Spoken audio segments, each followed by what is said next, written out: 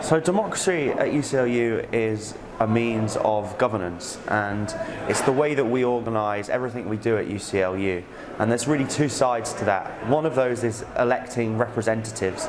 So we elect full-time officers each year and part-time officers and they act on behalf of students. And then there's also uh, motions and policy which is where you know ideas that people have about UCLU get debated and voted on and they set the direction of the union. Democracy is really important because it means that every single student at UCL, and there's over 30,000 of them, has a chance to affect all the different things that go on uh, whilst they're a student at UCL. So there's a whole load of things that will affect your day-to-day -day lives, from the cafes to the bars to your academic environment.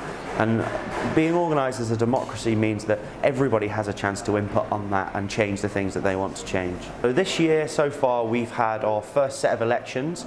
They were the autumn elections, and there we elected uh, 30 or so uh, faculty representatives, and they represent all the different faculties across UCL. We also elected a disabled students officer, a mature and part-time students officer. We elected our student trustees and we elected our NUS conference delegation.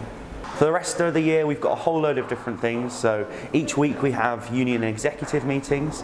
Uh, every month or so we have union council meetings. There's also some general assemblies and the annual general assembly coming up next year.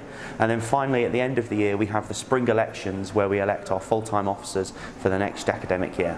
You can get involved in the democratic side of the union in a whole load of ways. Um, one of the best things to do is come along to council. Uh, they're every month, they're publicised on the website when they are. You can come along, you can hear the debates and you can get involved with those. Uh, the other great thing to do is vote, of course, when we have elections. It's really important that everybody votes so that they feel they get a say in the people who run the union.